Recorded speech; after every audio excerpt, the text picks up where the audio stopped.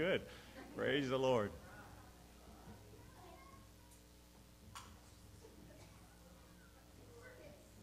Praise God. We got it. Thank the Lord. Thank you, Jesus. Praise God. Thank you, Jesus. We're getting back to some kind of normal with kids now in Sunday school, but we don't want it to be too normal. Praise the Lord. We, we want to be abnormal. We want to be like Jesus. Praise the Lord. Thank God. Hallelujah. Excited about what the Lord is doing. Chances to, to see God move and operate in our lives. I just want to share something with you. This morning when I got up, I was talking to Suzanne about this earlier, her and Mike. I was up early about 4 o'clock this morning, which has been kind of a consistent thing here the last few weeks, and uh, praying, and I was just talking to the Lord and was asking some things, and a lot of times He doesn't answer me immediately. You know, it's not like I'm talking to you and I say, What's that? And you tell me immediately. Sometimes God just waits because He wants me to focus a little bit. But I just want to say this. In Matthew chapter 9, verses 10 through 13, Jesus said, uh, That night, Matthew invited Jesus and his disciples to be his dinner guests, along with his fellow tax collectors. How many of you know they were hated? and many other notorious sinners. Not just run of the mill sinners, we're talking about notorious sinners. And the Pharisees were indignant. Why does your teacher eat with such scum? They said. Jesus replied, Healthy people don't need a doctor, sick people do. The message translation for verse 13 says, Jesus responded in, in turn with these Pharisees and he said, Go figure out what this scripture means. I'm after mercy, not religion. I'm here to invite the outsiders, not coddle the insiders. Might give us a whole other perspective about having church, what church really is. Amen? We all got crap, and we know it. That's why we're here. If we all were perfect, Jesus wouldn't have had to come. We wouldn't be here. There wouldn't be any need for any of this. But we're all flawed human beings, every single one of us. They may be different flaws, but God doesn't measure the flaws. He just says everybody comes short of the glory of God, and we need the grace of God. That's the only hope for any of us, period. And thank God He gave us a hope that is greater than anything we could have hoped for ourselves the answer to every situation and every circumstance in our lives and the lives of everybody that we come into contact. This is the message this world needs because they're all flawed. They're just like us, they're all screwed up. And they need hope. And He is the hope. Praise the Lord. Glory to God. Give Him another hand clap this morning. Praise God. Hallelujah. Praise God. I said, uh, When will the little snake arrive? I said, I don't know, but it won't be long.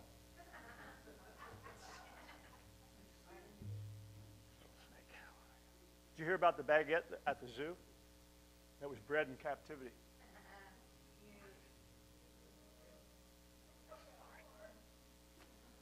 Okay, Sally, it's coming back to you. She said, What rhymes with orange? And I said, No, it doesn't.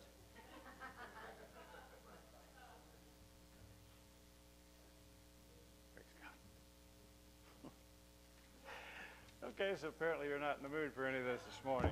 It's too bad. I get, see, I'm here, so I get to do that. Hallelujah. Praise the Lord. All right, let's go to the Word of God this morning. We'll start with, uh, I want to begin with Hebrews chapter 1, or excuse me, Hebrews 11, verses 1 through 3. Through 3. Yes. Sorry, it's that ancient Greek coming out of me. Hebrews 11, 1 through 3. Praise the Lord to begin with. And uh, I just want to uh, welcome everybody that's joining us on Facebook. We love you, appreciate you being a part of the service, and you certainly are. And we, uh, we just enjoy having you with us. And I, I want to thank all of you uh, that are not here in person, but you're still supporting the church and, and doing so much to, to, to be a part of what uh, God is, is doing in this, uh, this, the midst of us. And, and we, we really do appreciate it. And I want to thank Mike and Suzanne for everything that they do And I mean, if you don't know what they're doing, just wait till they take a weekend off, hallelujah, and you find out in a hurry. Thank God for them. I'm glad they got a chance to get away and enjoy some Jimmy Buffett time, hallelujah, and oh, that the Florida Keys, praise God. I'm just as jealous as I can be. Forgive me, Lord.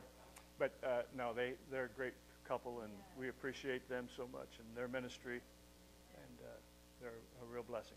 And Tammy this morning did a great job again, and uh, so it's, it's so cool how this happens. And I'm gonna, you're going to see a lot of the things I'm talking about this morning. And I didn't know what she was going to talk about. I had no idea. And I don't uh, do uh, podcasts, not because I wouldn't like to, but because I'm too stupid to figure them out. Hallelujah. But anyway, uh, there's so much that we'll share this morning that is uh, in sync with what she was saying. And uh, I'm grateful to the Lord for that. So, Hebrews chapter 11 beginning at uh, verse 1, and we'll read through verse 3. Hebrews 11, 1 says, Now faith is the substance of things hoped for, the evidence of things, what? You don't see. Amen. For by it the elders, those that went before us, obtained a good report. Through faith, we understand that the worlds were framed by the Word of God, so that things which are seen we're not made of things which do appear. Now, that sounds like an oxymoron, but it's the truth. What God created didn't exist in the visible, in the natural realm. It all existed in the spirit realm, but He had to speak that unseen into the seen. And He says, We are people of like faith. He's a God of faith. We have to operate under those same principles. And if, if the church isn't seeing the manifestation that we want to see, it's because we're not doing things the way God intended us to do it. So let's skip down to verse 17 and we'll read verses 17 through 20.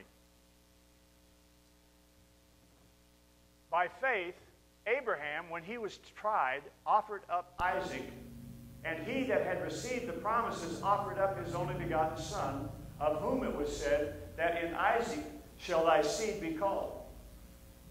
Accounting that God was able to raise him up, even from the dead, from whence also he received him in a figure.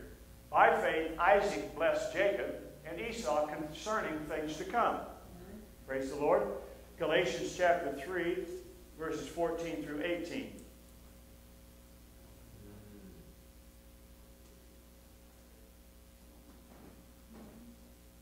Praise the Lord.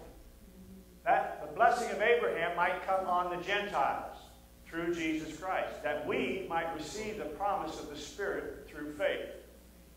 Brethren, I speak after the manner of men. Though it be but a man's covenant, yet if it be confirmed, no man disannulleth it or addeth thereto. Now to Abraham and his seed were the promises made. He saith not, and to seeds, plural, as of many, but as of one. Yes. And to thy seed, yes. which is Christ. Yes. And this I say, that the covenant that was confirmed before God in Christ the law, which was 430 years after, cannot disannul that it should make the promise of none effect. The law didn't come until 430 years after the covenant that God made with Abraham. Yes. Amen? And so it can't undo what that covenant existed for, the purpose for that covenant. The, law can't undo it because it already existed 430 years before. For if the inheritance be of the law, it is no more promise but God gave it to Abraham by promise. So the promise that we're operating in today isn't based on the law. The law had nothing to do with it. Right. Amen? We are under the covenant right. of Abraham, yes. the promise. Yes. And that's how we are to operate. Amen? Yes. Not by the law, not by religion, not by rules and regulations, but by the promises of God. Amen? So the thoughts of our mind affect the way that we live. How many of you say, yeah, that's yeah. true? Praise the Lord. They come from one of three places. Those thoughts that, that operate in us and that uh, affect the way that we live. The first way is through the five senses, in particular, the eyes and the ears. And we see or hear something in the physical world, right? The second way is from the subconscious mind, i.e., I talked about this here a couple of weeks ago, remembered experiences things that we've already gone through, and so we develop a, a, a way of thinking based on some past experiences. Amen? Amen? And number three, from the spirit world. So these are the three ways that uh, our, our, our mind is affected, and then thus creating uh, the, the, lives that we live and the way we, we respond to situations and circumstances. So here's the deal, though. Based on this truth, we've got a limited view of any situation. I don't care what it is, regardless of how experienced we are, regardless of how mature we are, no matter what those things are. We could be, you know, 100 years old and have all sorts of experiences, or we could be 50 years and have all sorts of these experiences, and so on and so forth. We only see the outward appearance. Amen? That is a sensory view. Amen? And what we see or perceive is through our biological senses. Mm-hmm. Amen? That's where it all starts. Amen? But that is not the whole picture. Remember, Jesus, I'm looking out here and seeing faces, and I know all your names, and I can say all that. And, and, and but he, Paul said, I would that you see Christ and Him only. Yes. Right? Yes. So, well, I, I, I'm, I'm seeing Sally. No. I'm seeing Sally with my biological eyes, but I have eyes to see, yes. amen, that can really see beyond the natural, and that's telling me that's Jesus sitting yes. there. Amen. Praise the Lord. Look at 2 Corinthians chapter 4 and verse 18. Because what we see is not the whole picture, obviously. Right. Right. While we look not at the things which are seen, right. but at the things which are not seen. Right. What, is, what was Tammy saying? We need to be looking to Jesus. We need to be looking to something beyond what it is we're looking at here in the natural. Yes. So, but at the things which are not seen. For the things which are seen are temporary. Right. They're subject to change all the time. And we know that because we've all seen the changes take place in our own lives and right. lives of people around us in the country and, and just about anything and everything. Right. They're temporary. But the things which are not seen, they're eternal. They change not. Man, I want some unchanging stuff, right? I want something that isn't going to fluctuate, that isn't going to hop up and down every time if we get a different president or, or some other issue comes up or whatever it might be. Amen. I want some consistency in what I'm looking at. Praise the Lord. So since our facts are obtained from our sensory view, what we see, hear, and feel, the whole truth is simply not available to us in the natural in the flesh. You're not going to get all the truth no matter how much you try to reason it, no matter how much I, your IQ is, no matter how brilliant you are, no matter how hard you work at it. You're not going to get all the answers just in the natural. It's impossible. Amen? And on top of that, we have the issue, amen, of the devil. Amen? A deceiver. Amen? Who, who's wanting to mislead, dilute us, and discourage us. Amen. He takes our sensory perceptions and twists them. That's the only thing he's got. He can't touch us in the spirit. He's got to come for the natural stuff that we're looking at and doing and feeling and so on and so forth. So he twists those natural sensory perceptions and he magnifies them to meet his purpose. Yep. Yes. To get us so freaked out or focused on that that we forget it's the invisible that we're really looking for, that that's where we're going to find the answers. Praise yes. the Lord. This is a lie. 90% of what we're seeing and experiencing is, is BS. It is. It is. Sure, you know what that means. Yeah. It means it's not true. Right. It's something other than truth. Amen? Right. So, Revelation 12 and verse 9.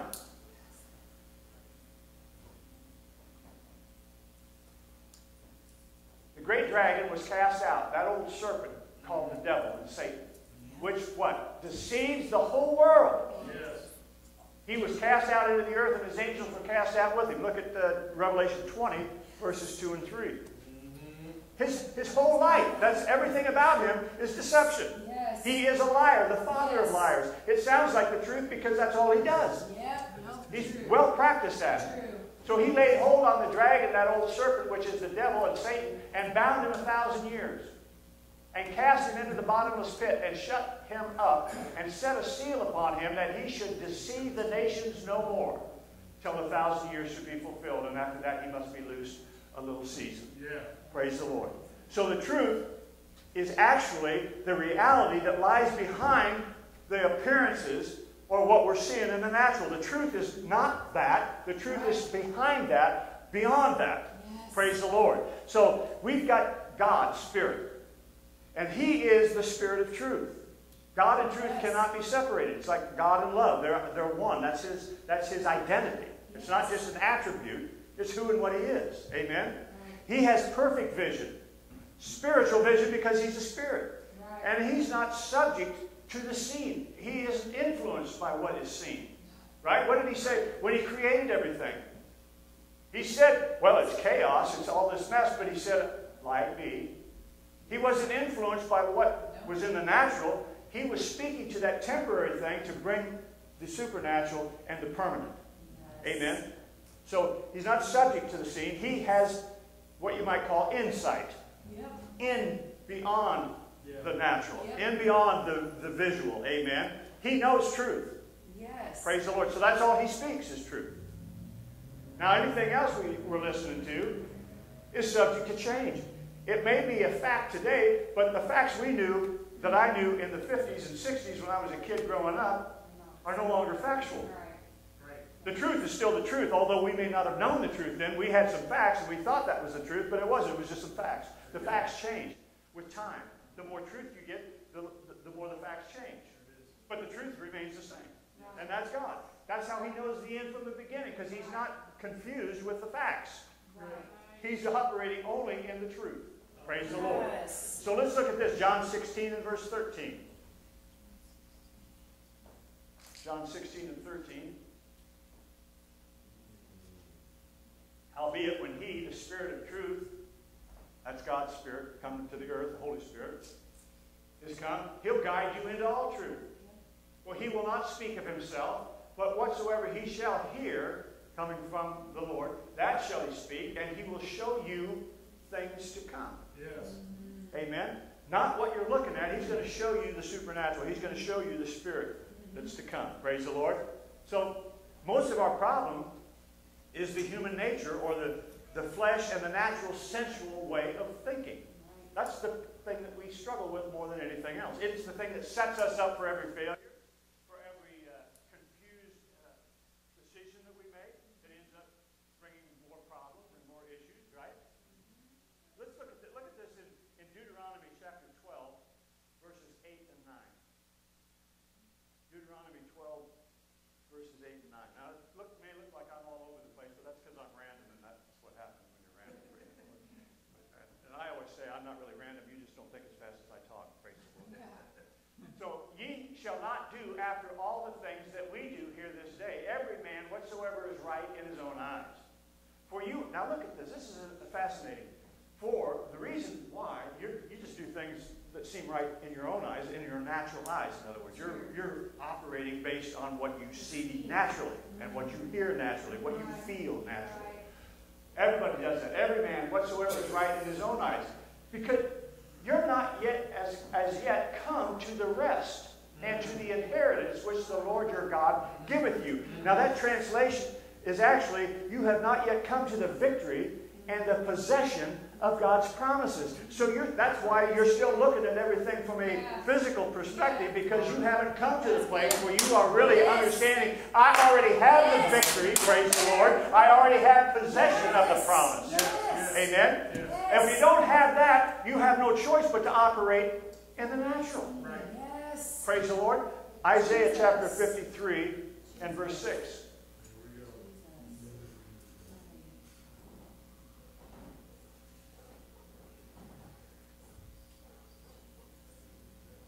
All we, what do you say all? All. That means everybody. Every Praise single the one Lord. of us. All we, like sheep, have gone astray. Yeah. Not some of us, not a few of us, Yeah. not three fourths of us. All of us, everybody, all of us have, like sheep, have gone astray. We have turned everyone to his own way, to his own reasoning, to what makes sense in the situation I'm dealing with. Amen? And the Lord hath laid on him Yes. the iniquity of us all. So Jesus got the blame for us not operating by the Spirit. He didn't do anything was not spiritual. All that he did was spiritual. Yes. But we don't. Right. But we get the benefit Yes. of him being in the Spirit, Yes. and he got the benefit of us being in the flesh. Yeah. He took that. Yes. Praise the Lord. Jesus. Amen. That's the natural flesh man. That is who we are in the natural. Amen. Yes. Philippians chapter 4 and verse 13.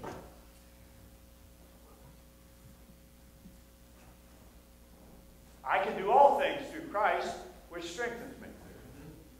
John 5 19.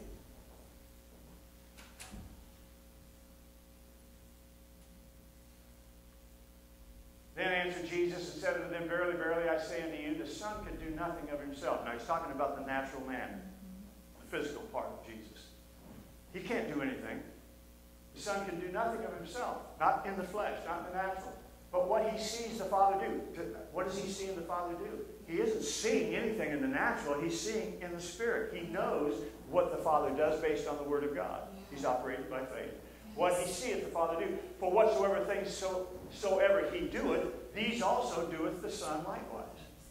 So the Son is saying, I'm operating, whenever I operate in who I am physically, I'm, I'm missing it. So I can't do that. I have to look to the Spirit side of this, what God's saying, what God does. And that's what Jesus said, I only do what my Father does. I only say what my Father says. Yes. In other words, he said, I'm, I'm only going to operate by the Spirit, not by my natural abilities, but by the Spirit of God. Yes. Amen? 1 Corinthians 2, verse 16.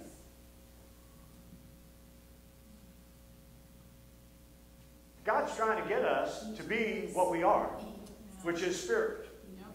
We, we live in a body, you know, we're, we're, we're flesh, but we are spirit. That's our identity. The other thing is just a vehicle. It's just what gets us around and makes us legal here on planet Earth. Amen. For who, who hath known the mind of the Lord? That he may instruct him. Okay? Naturally, who knows more than Jesus? What, you know you're going to fix him? You're going to get it straightened out for him? Or you're going to think long enough and get smart enough and read enough scripture that you're just going to be able to know? But here's what he says. We why? Because we are spirit beings, we have the mind of Christ. We have a spirit mind if we would just focus on it. If we'd make that the focus rather than the natural. Amen? All right. So senses contradict the spirit. Right? Right. It's obvious. Yep. They're not compatible. The senses conflict with the spirit. So let me just let me give you an example here.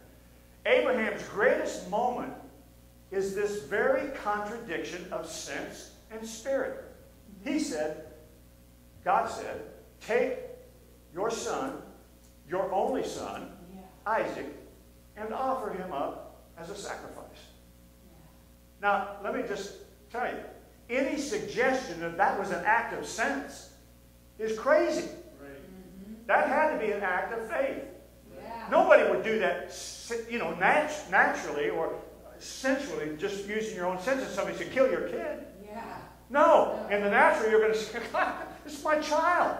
And in this case, my only child, the one that you said is going to be the one that brings on all of the, the nations to me. Right. So it couldn't have been a sense thing. It had to be by the Spirit.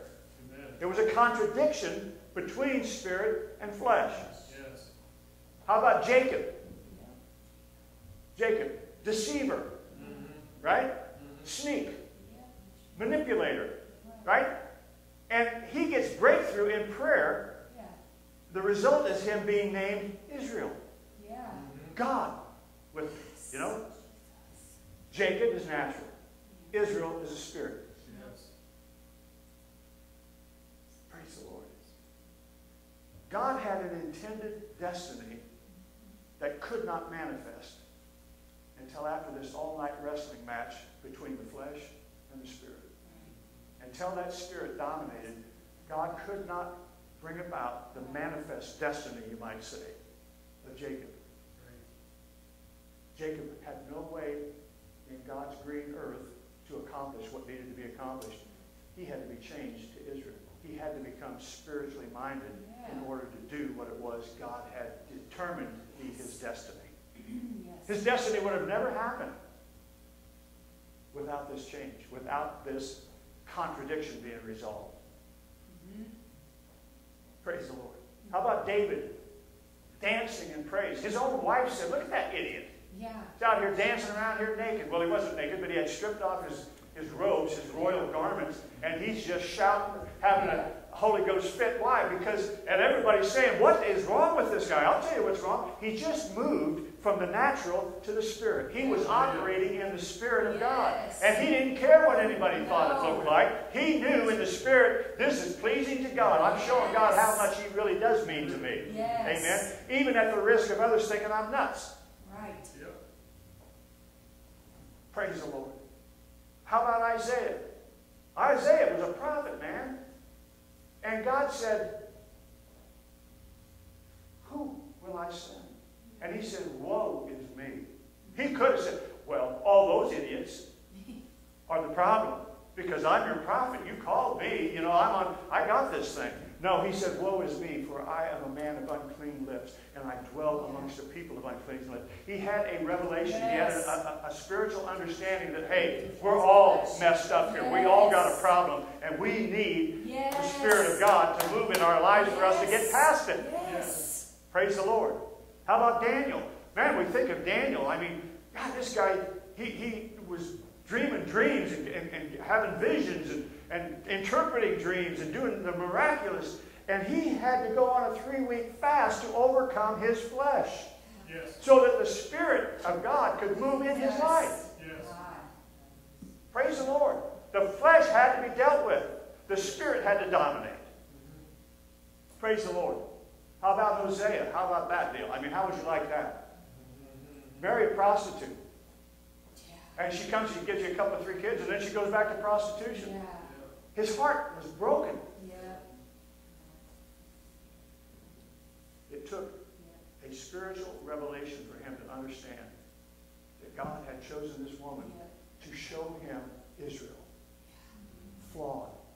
Sold out to anybody that comes along, whatever idolatry, whatever next God shows up, or whatever it might be. He had to come to a place where he would say, I still love you, Gomer. I still want you back. Yeah. I'm coming down here and I'm going to buy you off the auction block when none of these guys want you anymore. Right. You've lost your appeal. Right. What did Jesus do? He, he moved from the natural to the spirit. Yes. He stepped into a, a type of Christ Yes, he did. who, who bore, took us, purchased us. In, while we were yet sinners, he died for us. That's the difference between the natural and the spirit. We, we can go through the motions of church all we want to, but until we're willing to make the commitment to be the people that God called us to be, all we're doing is playing church. Yes. We're no better than the most religious people on the planet. That's the truth. And that's what God is trying to get us to understand. This isn't a, a rules, a regulations. I'm not trying to make people feel guilty. I'm trying to get us set free so that we can be what God has called us to be, so that God can do what God wants to do Yes. in all of our lives. Hebrews chapter 12, verses 2 and 3.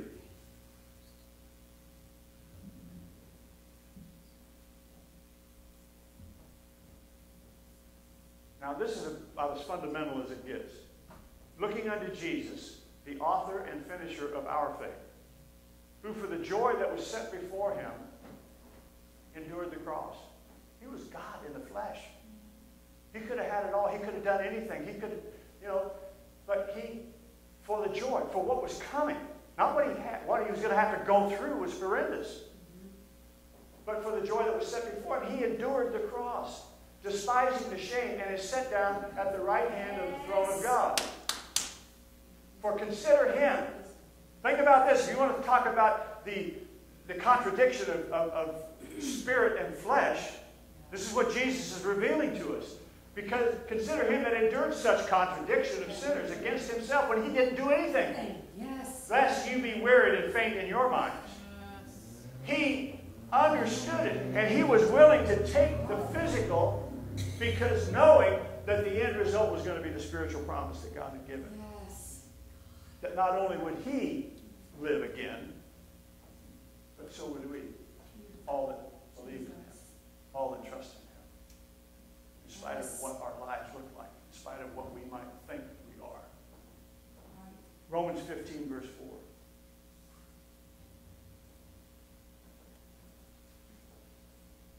For whatsoever things were written aforetime were written for our learning. This is what Tammy was talking about, right? Whatsoever things were written aforetime were written for our learning, that we through patience and comfort of the Scriptures might have hope. Hope in the Word of God. Hope in the unseen, in the Spirit, right? Not what we see in the flesh, not what's natural, but what the Spirit is saying. Now, I'm going to be bouncing back and forth here from uh, Genesis 26. So, but I want to start at Genesis 26 and verses 1 through 7. Praise the Lord.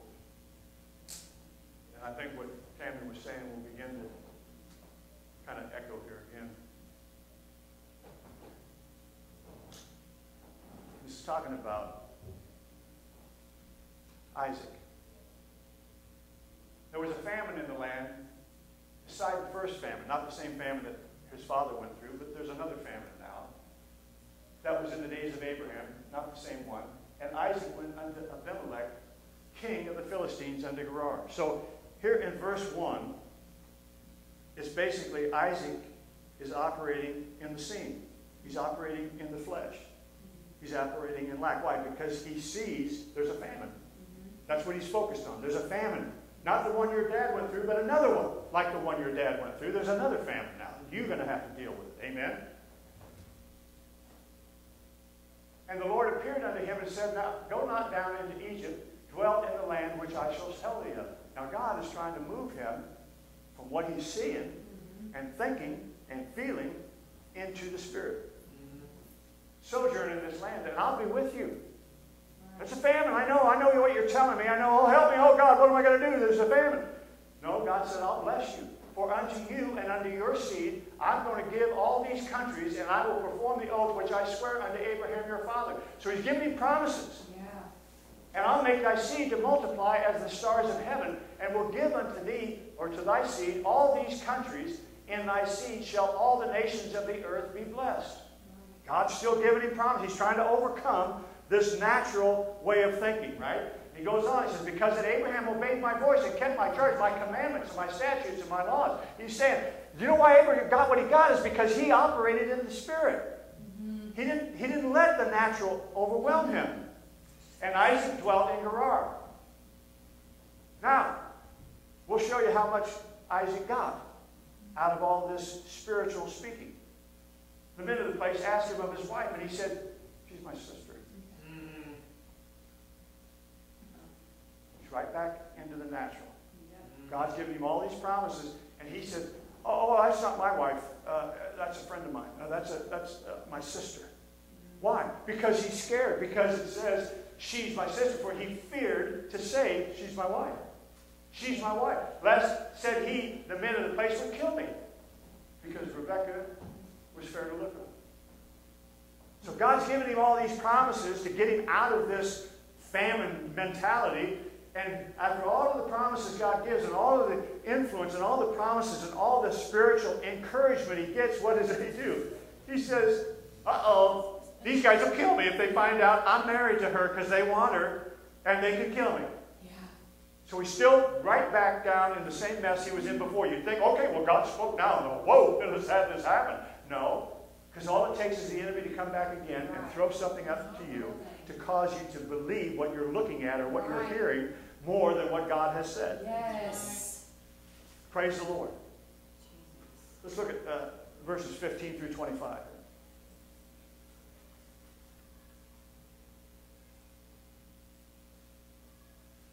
So, for all the wells which his father's servants had digged in the days of Abraham his father, the Philistines had stopped them and filled them with earth. Abimelech said unto Isaac, Go from us, for thou art much mightier than I. That actually translates, you're richer than we. It wasn't because he was more powerfully, uh, you know, militarily or stronger. It was because he had so much money. It was embarrassing Wow. to the Philistines because he was so wealthy. And they, he alone had more than the entire Philistines had. And it made him upset. And Isaac departed thence and pitched his tent in the valley of Gerar and dwelt there. And Isaac digged again the wells of water which they had digged in the days of Abraham his father. For the Philistines had stopped them after the death of Abraham. So Abraham's dead. They're not worried about Abraham anymore. We got this young kid now. He don't know sick of it. We're not worried about him. We'll just run him off. Yeah. You know, we'll just beat him and leave him. Because he is he doesn't operate the way Abraham did.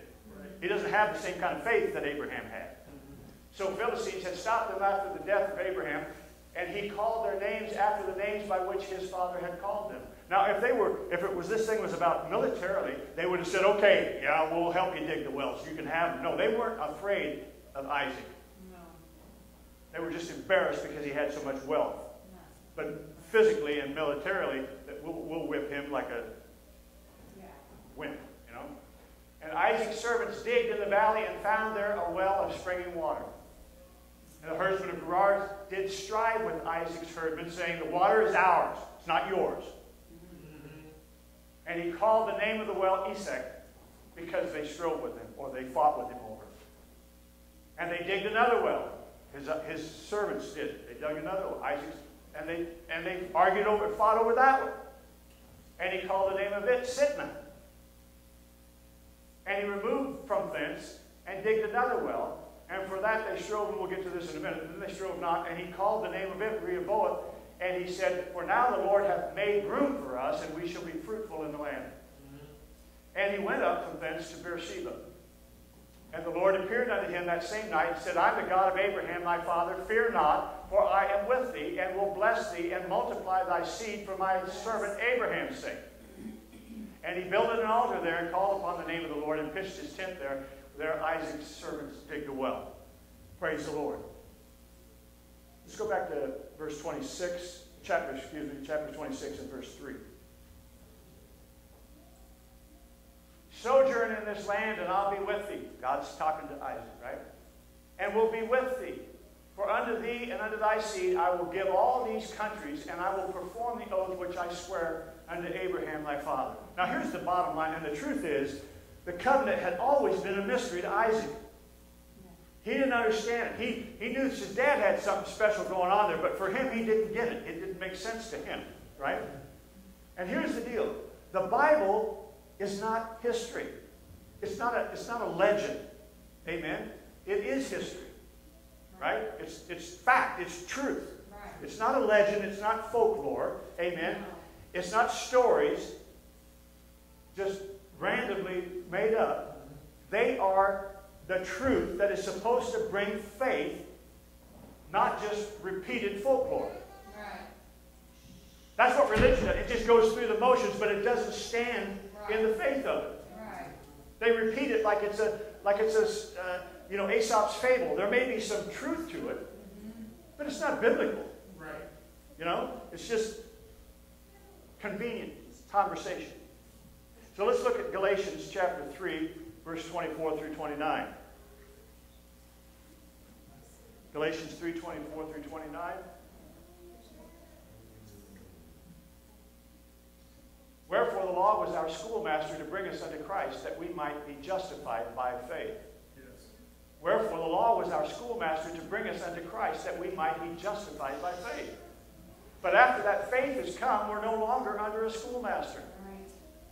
For you are the children of God by faith in Christ Jesus. For as many of you as have been baptized into Christ have put on Christ. Yes.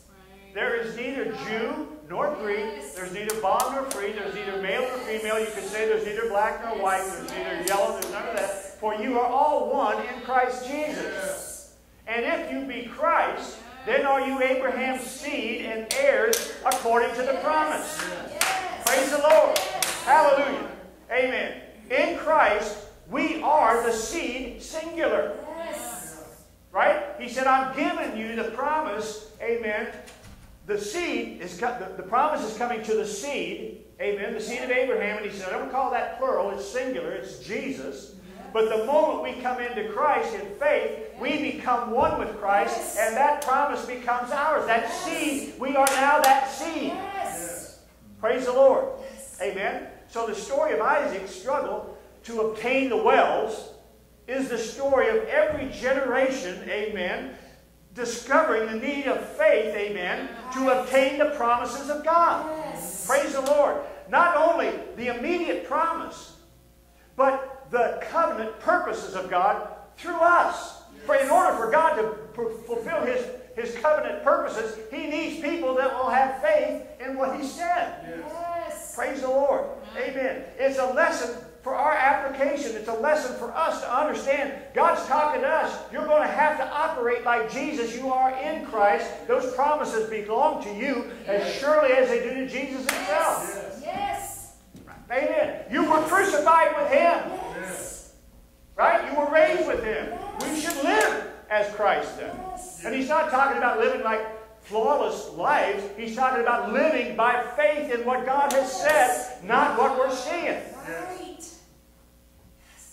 What did he? He said the the the, the, the magistrate said, uh, "We're gonna we're gonna beat you senseless, and then we're gonna crucify you." And Jesus said, "Look, man, I know what you're saying, but all I have to do is call on my Father, and I have legions or Yeah. thousands of angels here, Yeah. just like that. I know what I have access to." What's going to happen is I'm going to yield to the natural so that my people can operate by the Spirit. Yeah. Praise the Lord. See, there's a call on us in these last days to redig the wells. Yes. Our spiritual fathers left us. Yes.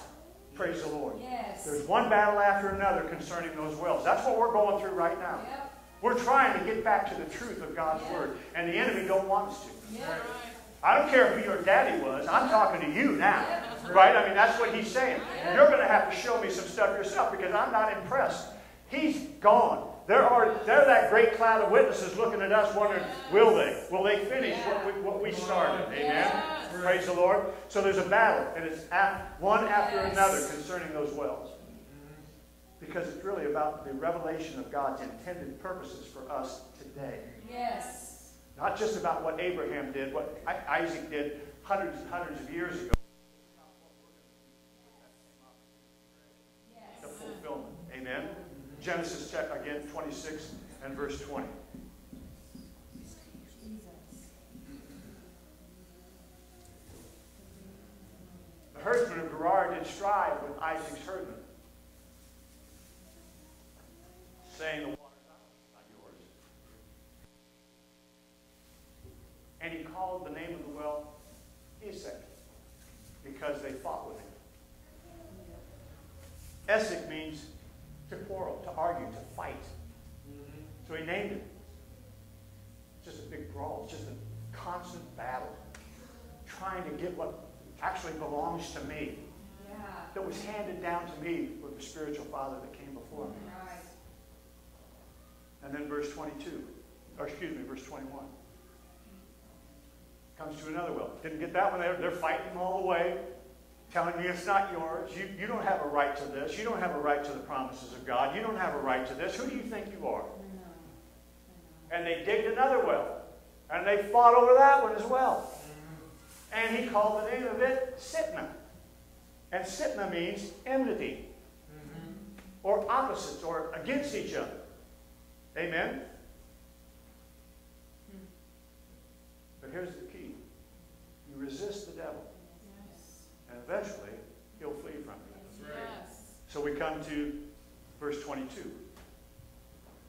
And he removed from thence and digged another well. And for that they strove not. They'd had enough. And he called the name of it Rehoboam. And he said, For now the Lord hath made room for us, and we shall be fruitful in the land. Rehoboth means spacious fruitfulness. Yes.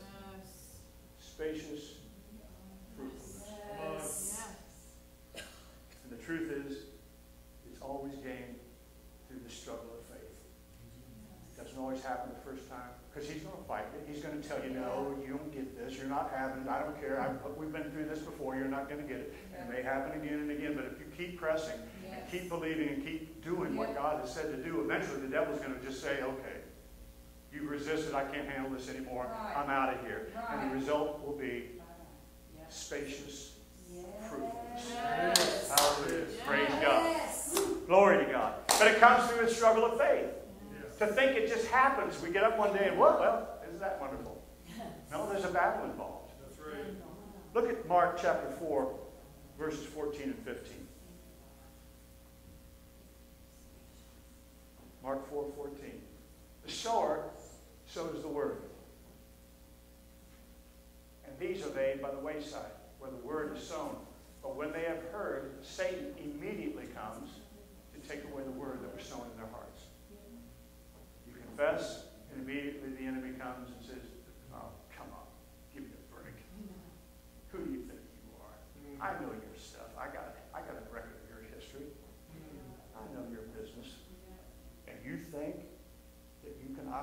the Spirit with your history? Yeah. Yeah. Because you're not looking at who I am. Right. You're looking at who I was. Spirit. Hallelujah. I'm a spirit being. Yes. I have the power of God myself. Amen. Yes. So he says, Satan cometh immediately and taketh away the word that was sown in their hearts. Then look at uh, verse 32, I think it is. Yes, verse 32.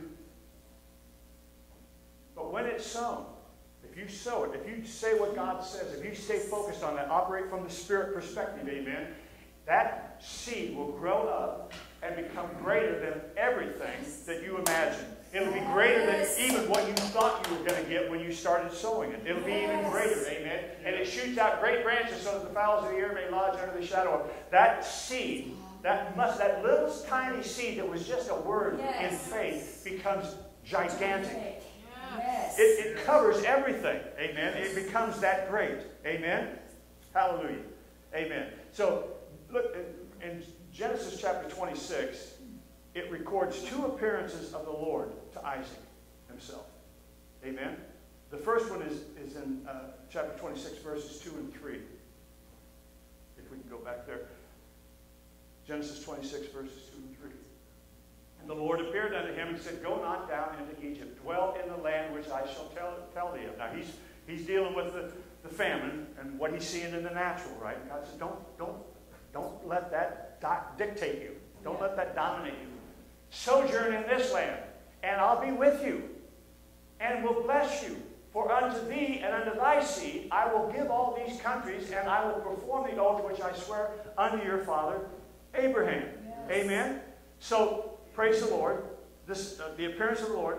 The covenant here is being transferred or transmitted to Isaac. Yes. God is telling him, here's your purpose, Isaac. This is not just about getting some stuff. This is the purpose that I placed you on this planet for. Yes. Yes. Yes. Praise the Lord. And so what happens? What, what's happening here? The seed's getting sown. Praise the Lord. All right. Between verses 2 and 3 and verse 24, the enemy comes for the word. Right? God's told him, this is your destiny. This is, this is your purpose. I don't care what you're dealing with. This is what I called you for. Yes. So from that point until verse 24, what happens? The enemy constantly coming after him, coming after him, coming after, him, quarreling, fighting, you know, opposite, taking this. You can't have it. No, it's not yours. Yep. Right? Right. Then the second time the Lord uh, uh, appears is verse 24. Yes. And the Lord appeared unto him the same night, and he said, I am the God of Abraham thy father. Fear not, for I am with you. It's no longer about your father. Now it's about, this is about you. Amen. Yes. And will bless you and multiply you and exceed for my Yes. servant's sake, for Abraham's sake. Yes. For what he started, if you'll pick it back up now, it'll be for you. It'll be your destiny now, and I'm doing it because of the promise I initially made with him. Now it becomes your promise. Yes. Praise the Lord. Jesus. Isaac immediately builds an altar, a mustard seed. Yeah. And this confirms it's now his promise, not just his father's, not just a second-hand promise now. Right. It's his. Yep. And he digs another well on the spot. Here's some revelation for us today. Truth is wrapped in the struggle itself. Yeah. Praise the Lord. It's waiting to be manifest to or in anybody who will let the Holy Spirit birth it in their own life. It's there, but you have to receive it. You have to take it by faith. We're joint heirs of salvation through Jesus Christ, the seed of Abraham. Praise the Lord. The Father's word of promise to his Son that he shall inherit the nations is ours. It's a shared promise. It, it has become ours. It was passed down. It now is ours, as though there weren't anyone else, Yes. just like it was for Isaac. See, the sands of history, the, the history itself, in the hands of our enemies, have choked the foundations of living water. Mm-hmm. The devil's used everything. He's used religion, he's used governments, he's used anything and everything to rob us of our purpose, to rob us of our destiny. And that is the secret to the church's fruitfulness and effectiveness, is to keep digging, Yes. to keep coming back, to keep saying, if it was right for them, it's right for us. If God will bless them, he'll bless us. Yes. He wants to make it new. Yes. Talk to Suzanne. He wants to make it fresh. Yes. It's not new. It's not a new. It, it wasn't new what he was telling Isaac. It was just fresh. Right. Yes. It was for him now. It was no longer for dad. It wasn't No. no longer for the generation before. Right. It's now yours. It's a fresh revelation for you. Yes. And that's where we're at today, church. Yes. I'm not worried about the book of Acts. No. There's a fresh revelation Yes. that God wants to pour out his spirit on all Yes. flesh today. Yes. Yes. Yes. Your sons and your daughters will prophesy. Yes. We'll lay hands on the sick. We'll see them recover. And greater works than these will you do. Yes. Praise the Lord. If we're, as heirs, pursue those original wells of blessing and power, God will not only reward our pursuit, but will confirm his word all over again Yes. to us personally. For us as though it were the first time, Yes. but it's simply a refreshing of the promise he gave. Now, personally Yep. and powerfully. Yep. Psalms 87, verse 7. Praise the Lord. Psalms 87, 7. As well the singers as the players on instruments shall be there. All my springs are in thee. Chapter 42, verse 7.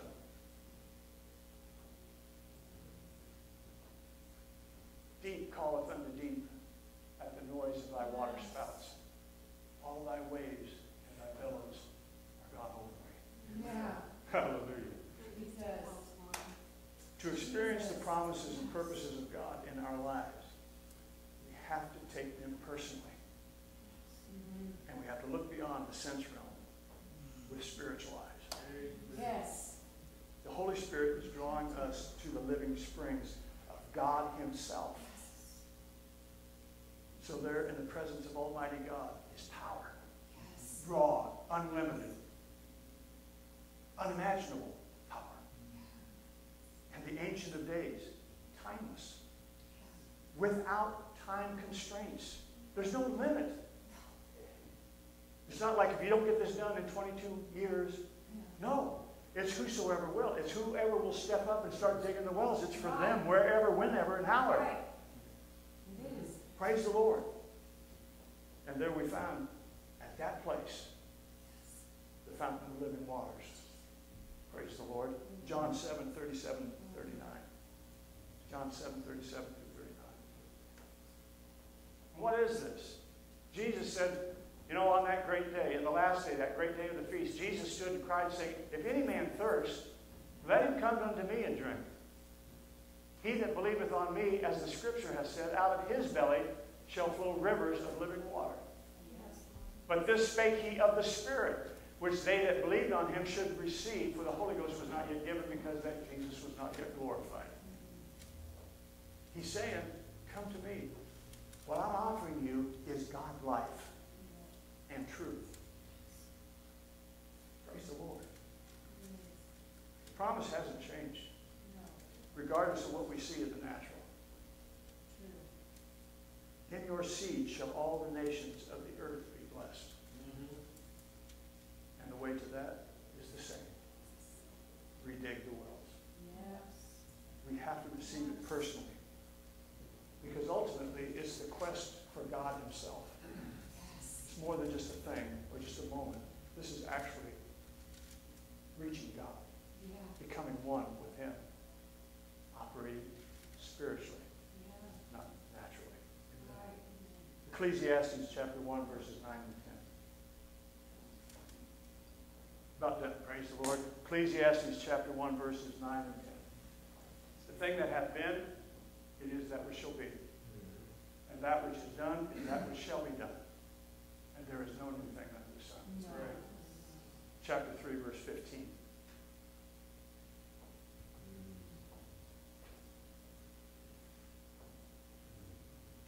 That which hath been is now. That which is to be hath already been. Yes. And God requires that which is past. Yes. Mm -hmm. Praise the Lord. Centuries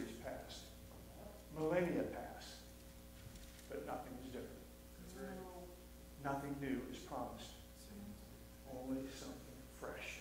Yeah. Even the new wine hasn't changed from the beginning. Look at this in Genesis chapter 49, 10 and 11.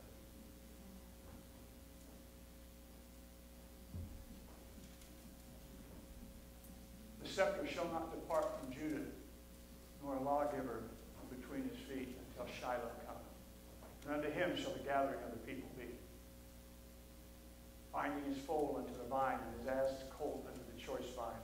He washed his garments in wine, and his clothes in the blood of grapes. Hmm. You don't put new wine into old wineskins. Nope. You put new wine into the new Jesuses. Yeah. Yes. And it'll produce what it cleanses us. It makes us Yeah. everything that He That's is, right. everything that He wants us to be. Yes. Matthew 13, this is closing scripture. Matthew 13, verse 11 through 16.